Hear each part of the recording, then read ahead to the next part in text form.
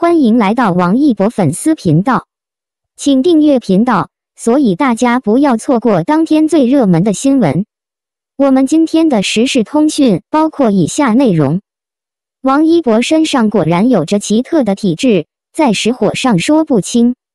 大半年不晒合照，一出现必然是惊人的节奏。说的是顶流王一博，红色真的很红，火爆流行，这是我对顶流的认知。但在王一博这里，不是想象中的，而是越来越强烈。曾经大家都知道王一博的带货能力很强，但没想到他在哪里就是关注度，就连他走过的地方都会变成香饽饽。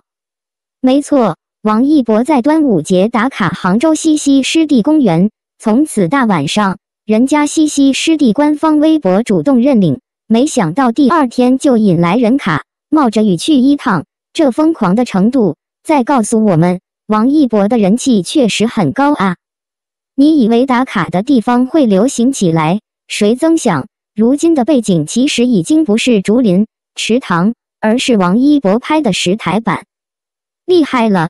这块石盘居然成了承载所有爱王一博的粉丝最上镜的存在。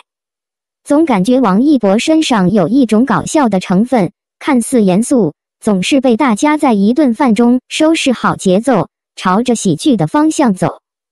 此番出场后，王一博 pose 火了，各种神 P 图随处可见。粉丝们对待王一博，原来不是嘴巴那么有爱，有点大话，而是哪里需要动哪里的节奏。王一博知道真相后，估计是一脸茫然。真的很想说，从王一博粉丝这里感受出来的全是幽默细胞人格，一副严肃认真的样子，内心沙雕 loser 气息很浓。实际情况是，实际喜欢他的人内外反差应该也蛮大的。这一次，王一博火了一把，猛然意识到王一博的影响力和号召力和我们看到的不一样。即使他沉沦，也掩盖不了自己的火辣，反而更容易反转对比，更值得关注。毕竟顶流不是单纯的火爆，还有一个最大的问题，就是所有人的监督。都说顶流不容易，是的，到了王一博顶流的程度，确实是一种说不出的心痛。让大众都扒扒干净，基本上把裤子的底子都给爬出来给你，你说这是好是坏？这也是为什么王一博现在选择低调，一场接一场，宁愿全副武装，不让露脸的你得到半张照片。我不止一次说过，喜欢他的人和不喜欢他的人一样多，因为粉丝的过度热情，导致太多人不为人知的变相厌恶。这也是我一直奉劝各位追星的粉，一定要懂得适度，自己的热情过度，却容易招来是非。你的极端行为。是对互惠的极端对待所带来的。王一博，一个被爱被羡慕的人，一个被人羡慕又充满正能量的人。一，王一博活成了大多数人想要的样子。娱乐圈名声在外，大器晚成的人大多活得比常人伤心，甚至受苦。王一博的成名是靠一点点运气，不过这是基于他是一个早有准备的人。遇到了一个很好的机会，而这个运气却是喜忧参半。大老师说，王一博火了之后，很多人都很羡慕，因为看到他活成了大多数人想要的样子，有他们自己的杰作，做自己喜欢的事，有可靠的资源，但更重要的是，他们有很好的技能，但仍然是独一无二的存在。最适合演艺圈的艺人是运动员，还是小众运动？这个更亮眼，不仅有观赏性，更有魅力。更重要的是，文化和体育一样，有着积极向上的生活状态。王一博喜欢街舞、滑板、摩托等项目，做娱乐圈里一道独特的风景线。火了之后，让自己的翅膀更加饱满有力，让大众眼前一亮。二，让人讨厌正能量。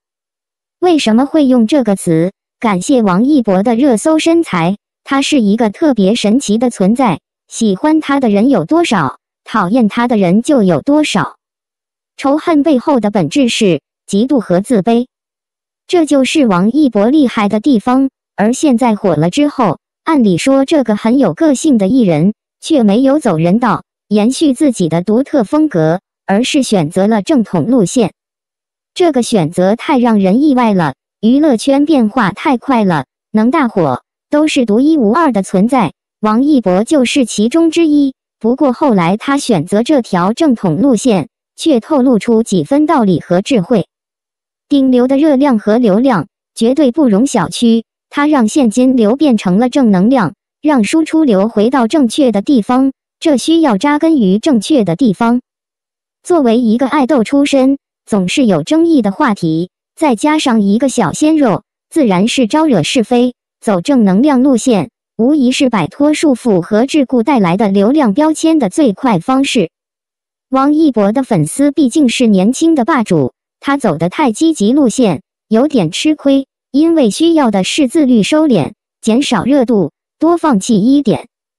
纵观现在的王一博，曝光率降低，各种出镜都不再是爱豆戏，无疑导致了一些颜值脱粉，反而提升了路边的口碑。有让有让，总体来说，这给予一点智慧。更重要的是，黑粉没办法走走正统路线，自然下流，没有更多的批评，不能说哪里不好。就是找不到黑料来制造话题。能在娱乐圈走积极道路的艺人，靠的显然不是流量，更多的是靠实力和努力说话。这种自然是眼红。毕竟，如今的娱乐环境在变化，中华文化的传播需要演艺界和参与者的共同努力，回归主旋律。信息飞速发展，我们每个人都越来越清醒，至少不在娱乐圈第一。不再被割韭菜，不容易被迷惑，扭曲的价值观会慢慢被纠正。娱乐圈需要更多正能量的艺人来发挥良好的主导力量。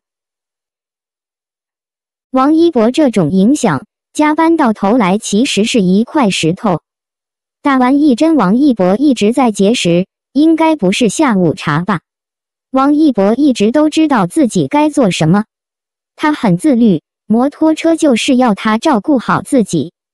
端午节，王一博一张生活照上热搜，五小时三点四亿阅读，原数七万。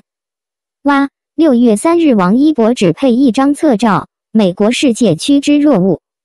这个真的厉害，美国比世界都难上。王一博海外人气真火啊！赞！摩托车也太低调了。杭州西溪湿地官方博客迅速抓住了这个大好宣传机会。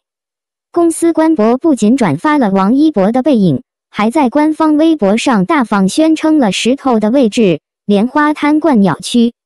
官方引导后，滑板车迅速靠近西溪湿地，在小雨中带领一波路过的游客在石头前排起了长队，站在石板上，跟王一博一模一样的姿势。冷冷的侧身，露出半张脸，场面一度十分搞笑。